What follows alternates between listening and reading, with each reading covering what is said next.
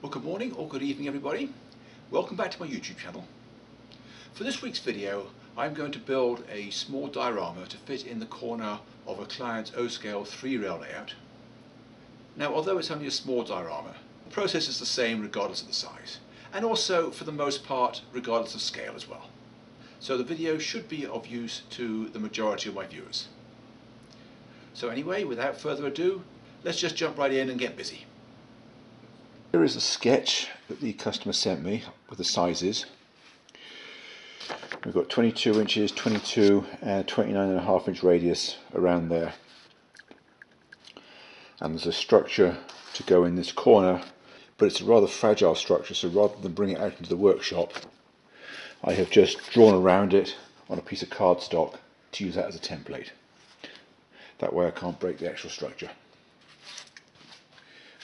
Now this is a 30 inch radius template because I don't have a 29 and a half but since I have to cut it back to allow for the plaster carving I'm just going to make the allowance for that extra half an inch by overlapping the edge and then once I've drawn around that it'll be approximately on the cut line.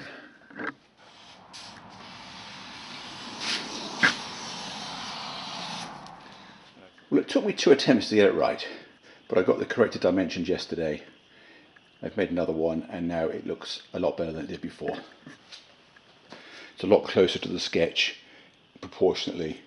Bearing in mind of course that there is still three quarters of an inch that I've cut off around here to allow for the plaster carving along that edge. So now that I'm happy with the sizes, I'm just going to get all that glued together and I'll be right back. Now you may recall I did an experiment with gluing this foam together with a product called Gripper and the results are very successful so I'm going to use the same thing again. Here's an old 2 inch paintbrush which I can throw away afterwards.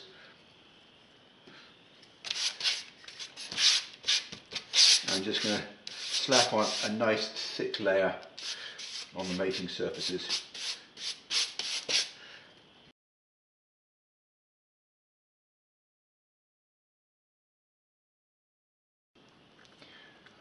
for reason that wants to slide, so I'm going to put a nail in it.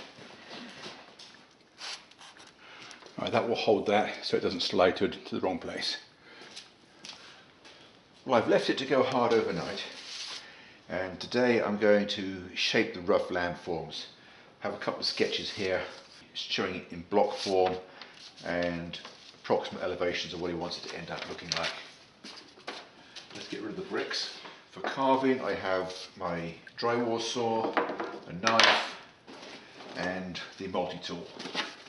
And I will probably use all three of these before the job is out. Now the sketches show a drop off on the front porch. So some of the foundation is going to be visible. And he doesn't want me to spend a lot of time building it. He just wants me to have the exposed foam coloured to look like a stone or concrete base. So that it doesn't get chipped, I'm going to give myself about a quarter of an inch all the way around and then I'll come back and trim it later.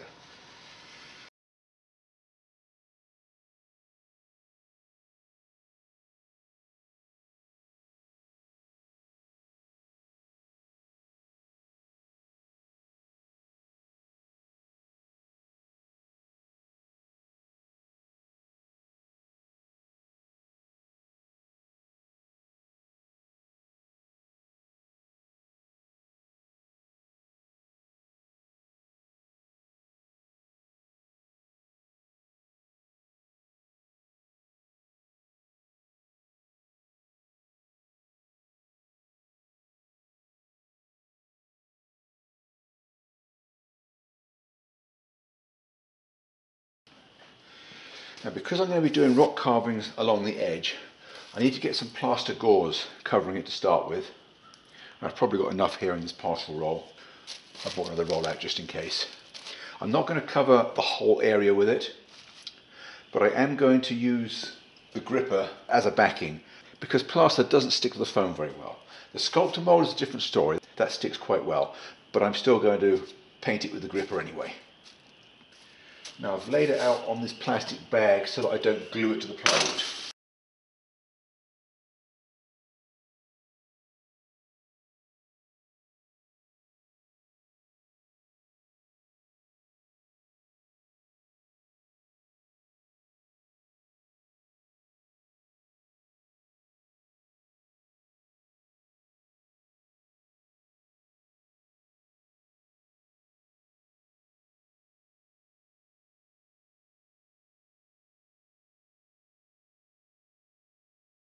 But I'm all set up today to get the rock carving done around the front edge that faces the railroad.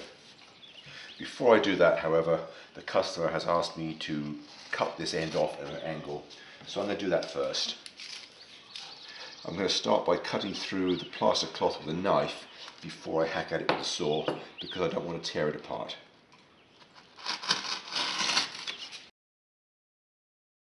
And I can discard this piece. Now, I'm not going to paint this with the Glidden gripper like I did before because that will be the end of today's progress. So I'm just going to put some more plaster cloth over it.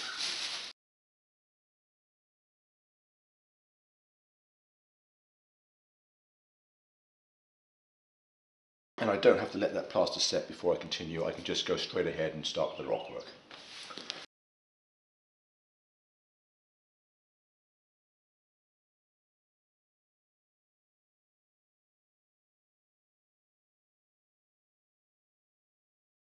Plaster I'm using today is called Perfect Plaster and it's sold by Hobby Lobby and maybe a few other places as well. Usually I buy plaster of Paris and that sets up a lot faster. Here I'll find I have a lot more working time. Perfect plaster costs a little more than the, than the POP but it's nice to work with. I need to go away now and come back in a few minutes because this is still way too wet to start carving.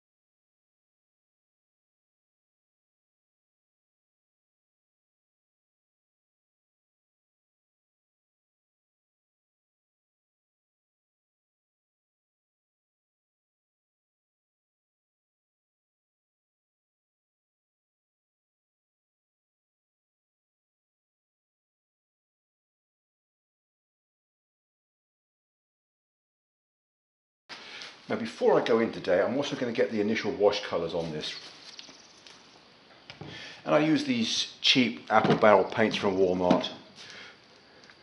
Mainly I'm using black and burnt umber, but I'm also going to use a little bit of a colour they call chocolate bar, which is a much more reddish brown. And I like that for highlights. Notice how all these are dark colours. I will lighten it with the dry brushing later. But I've mixed myself up a thin wash but even that, if I slap that onto the dry plaster, it's going to be way too dark. So what I have to do is spray it with water. You need to get it completely soaked. And then I start with just a, small, a fairly small amount of the paint to start with. And some more water. And I let it go into all the cracks. I don't want a huge amount of paint lying on the surface. I can always come back and add some more colour later, but once it's on, it's difficult to take it off.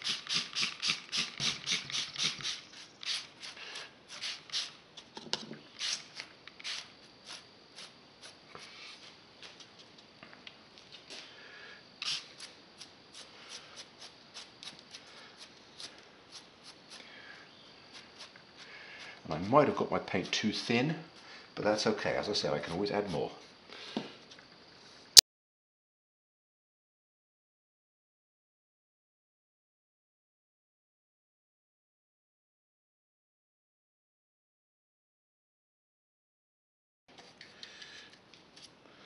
Can see how much redder that is. Notice how here I'm just putting a few random spots on.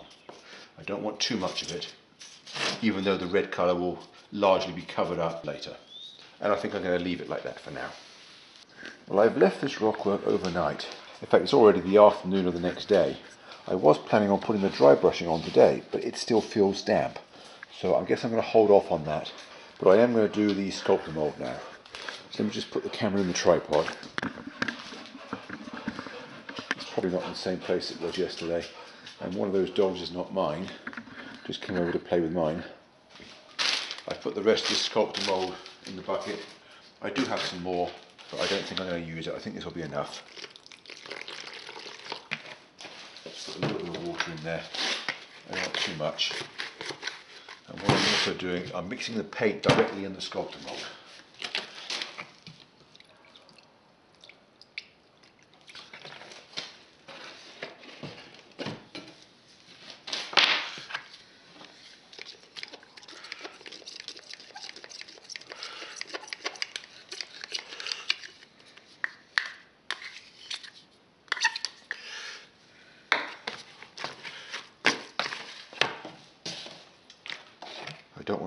Too much water in here because then I'm going to have to open the other box of Sculptamold.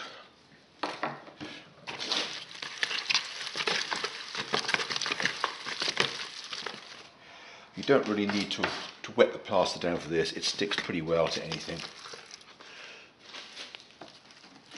I like to put this over pretty much the whole area that's not rock because this gives an acceptable texture to dirt whereas the plaster cloth is not.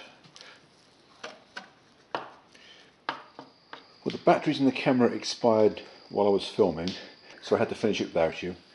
Anyway, the whole base has now been covered with Sculptamold, except the bits that are going to be rock outcrops. I'm just going to leave that to dry, and then tomorrow I should be able to dry brush the rocks and also finish the ground cover. So don't go away, I will check in with you later. But it's taken me a while to get to the point where I can dry brush these rocks. With the amount of rain that we've had over the last few weeks, there was just too much humidity in the workshop and it just wasn't drying. So I brought it inside. I'm now working in my basement. I couldn't bring it in any earlier because I had a big batch of Fast Tracks turnout spread all over the place. Anyway, the main colours that I use for dry brushing are a brown oxide and this one it's called granite grey but any pale grey will do and then I cut it with white towards the end as well for the final very light dry brush. If you happen to find a cream colour, such as an antique white, that'll also be a, a very good final dry brush colour. But since I want the rocks to be mostly grey, I start by doing the brown dry brush because most of that gets, then gets covered by the grey. If I started with the grey, most of it would be covered by the brown. It may sound counterproductive, but always do the least prevalent colour first.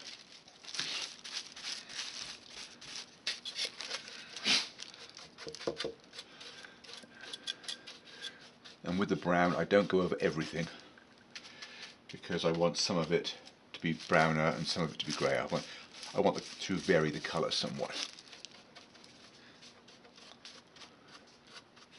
Now, although this is one of the quickest parts of the project, it makes a huge difference. Now, when I had a closer look at what had gone before, I don't think I put a heavy enough wash on because some of the gullies are not as dark as I would like them to have been. So I'm going to do the, the first couple of dry brush coats and then I'm going to put another wash on before I come back and finish it.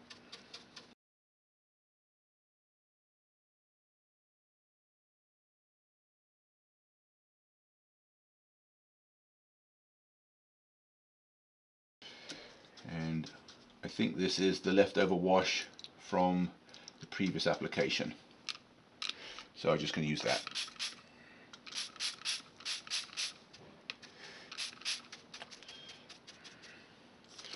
I have to make sure I wet it first otherwise it will just sit on the surface and I don't want that to happen.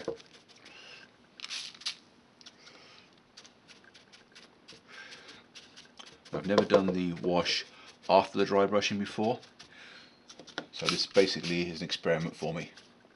I've heard other people have done it.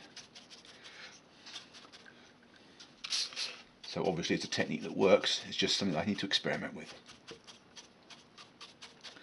And what better project to, to experiment with than a small one like this, where it's only a few minutes at a time.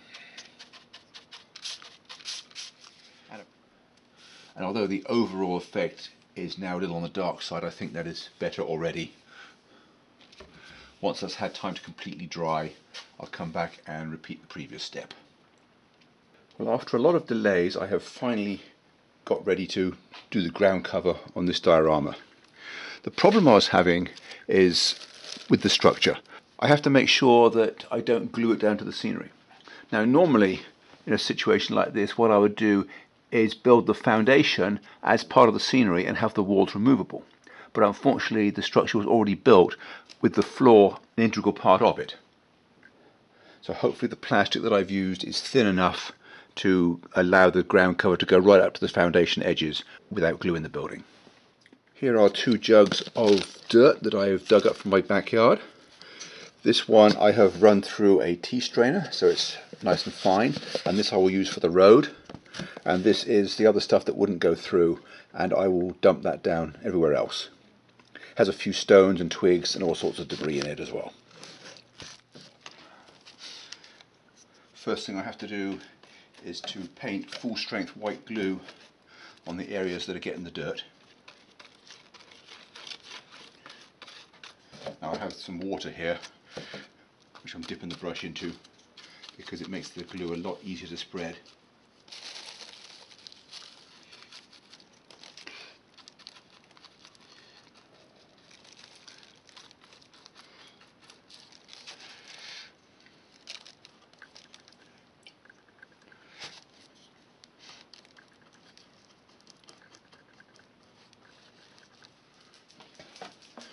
Now I'm going to spread the fine dirt on the road.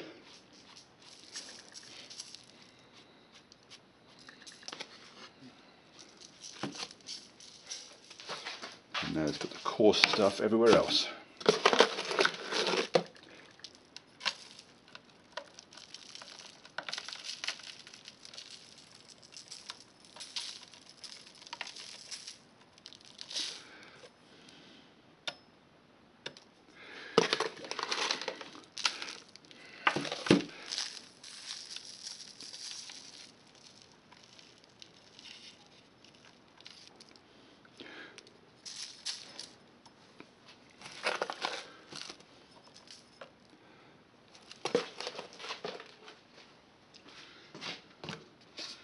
And now I'm just going to throw a few different colours of ground foam together and mix those up. I'm going to start with all the same colours that I use on the trees.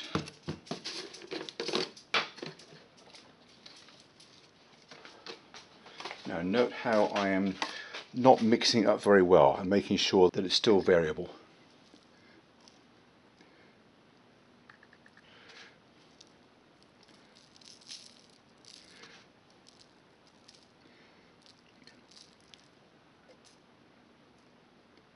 and now I want to put it down all, all over the dirt making sure that I don't cover all of the dirt.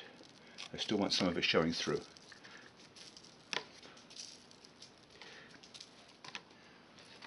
And now what remains to do is to glue it in place. For that what I'm going to do is heavily dilute white glue with 70% isopropyl alcohol. Normally I do this in a couple of different steps but I have this old spray bottle and what I'm going to try to do is put the glue straight in the bottle. Now normally I would mix the scenic cement, one part glue, one part alcohol and three parts water. But for this application I've re reversed the proportions and I've gone with three parts alcohol and only one part water.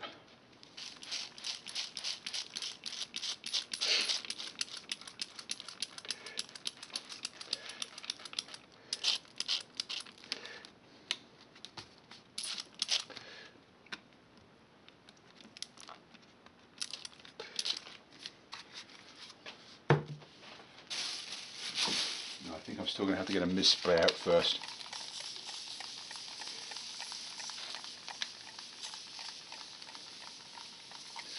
I was trying to save a step but didn't quite work.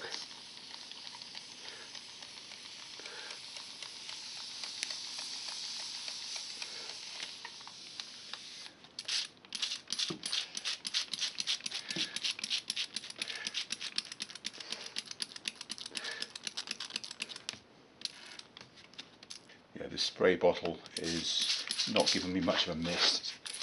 It's more of a jet.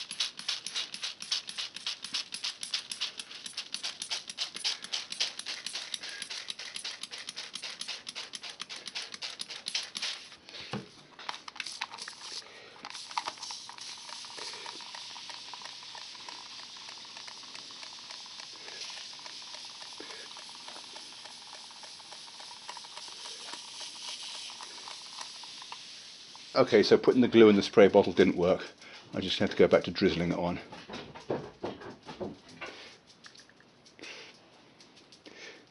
It was worth a try.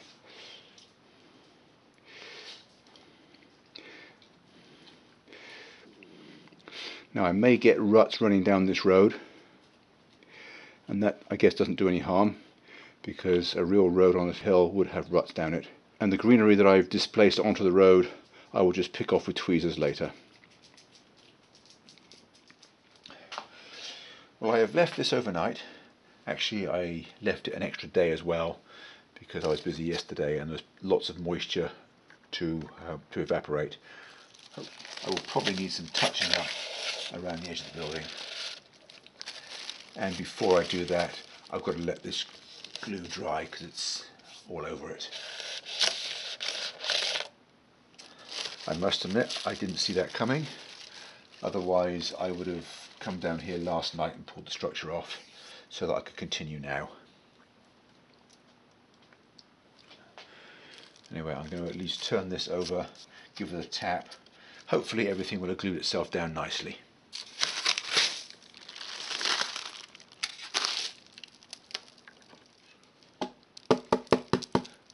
and nothing is falling off. So that means everything's glued properly. I'm reasonably happy with that. Anyway, while that glue was drying, I haven't been idle. If we take a step around the other side of the table, we'll see that I have been building trees to go on there. They are constructed using my standard methods. I presented them a couple years ago in a how-to video building deciduous trees from furnace filter. These are built exactly the same way, except that the base armatures came from a different kind of tree. Although they may look very similar in colour, especially in the not so good light of the basement, I use three slightly different base colours and much lighter green as a highlight. So by the time I got them together, you should be able to see a slight variation in colour. There are 12 trees here, that's too many for the diorama. We're aiming for about six, but because the shapes are kind of unpredictable, I wanted to make more so that we have a good choice of which tree to put where. I can figure out which ones fit best, and then he'll just have a few extra trees to plant elsewhere on his layout. It's time to have another go at fixing the ground cover around the base and you might not be able to see it in the camera but what I've done now is I've masked the edges by wrapping clear tape underneath and slightly up the walls on all sides. It's basically the same as what I did with the plastic bag but this is a lot more controlled. The plastic bag left two bigger gaps. And I'm going to have another go at filling in the ground cover around the edge. Now since weeds tend to grow up the sides of structures when they're not maintained, I'm not going to use any more dirt, I'm just going to put foliage material around there. I decided to just use the same ground foam I did elsewhere. I've just applied it with this tool here. It's actually a clay carving tool but it also makes a good spoon applicator. And now what I'm going to do is use an eyedropper to put glue accurately along there.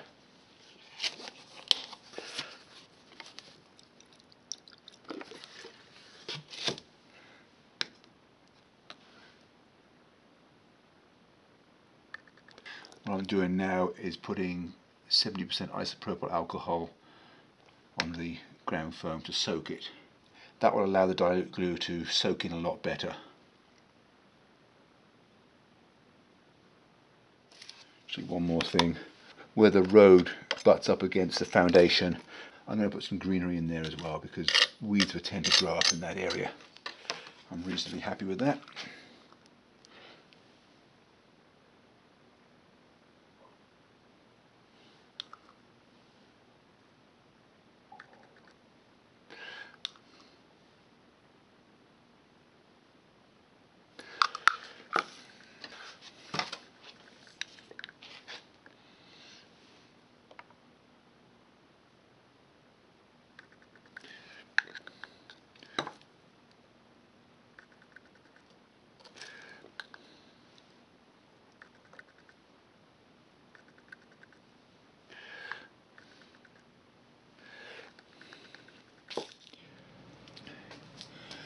I'm actually very happy with the way this turned out. I've already pulled it up once and I've started peeling the tape off. There's a few places where the glue got underneath it, so I had to be careful. And now I'm just going around picking the tape away. When all that's off, I will offer it back up again and see if we have an acceptable joint.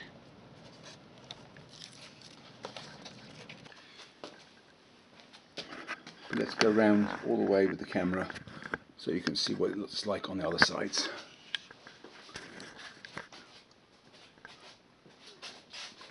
This is the side that is facing the viewer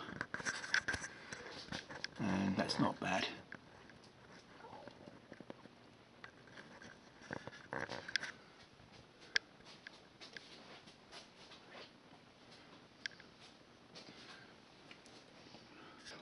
Remains to be done is to plant the trees in the diorama. I made a dozen of them and that's way more than I need. We've been talking about putting round about six on here. But when it comes to deciduous I always make extra trees because I want choices regarding the shape of tree to put in.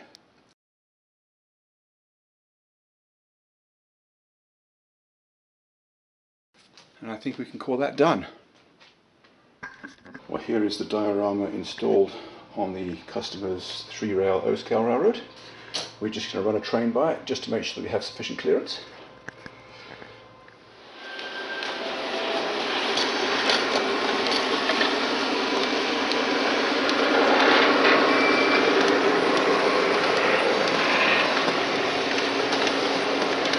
Loads of space.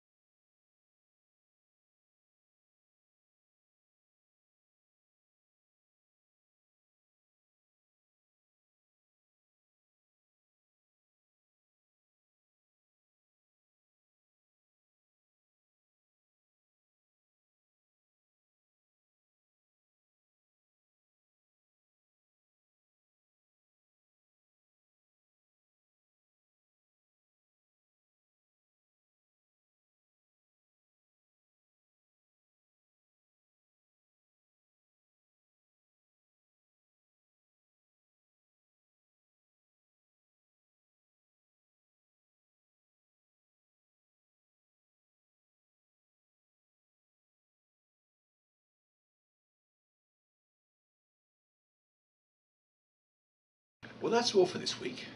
There will be a part two to this video where I'll take care of the repairs and upgrades to the structure. I don't know if I'm going to release that next week, but it will be soon. So I'm just going to sign off here. I hope to see you again next week. Thanks for watching and bye for now. Alright, cut this bit out. Even after cutting it, I can't get it. I can't get my fingernails in there and I don't want to wreck the resealability of this bag because I'm not going to be using the whole lot. Oh, man. I don't think I've cut enough off.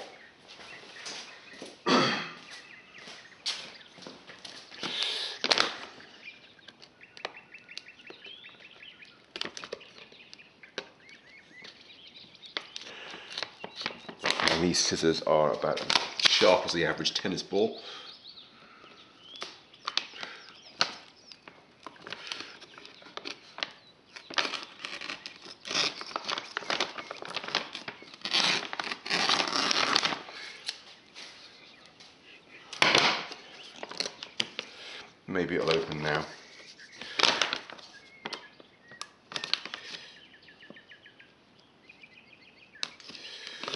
Guess I should have made an announcement at the start. Step one is opening the bag of plaster and then we'll get on with step two next week.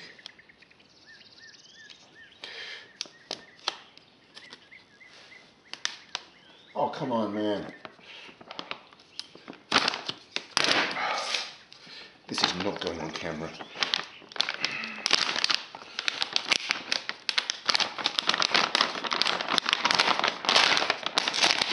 Right, finally, that's it for this week. Next week I'll start the plaster work.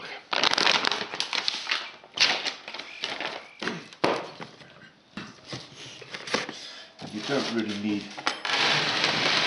Oh crap. We definitely don't need to do that.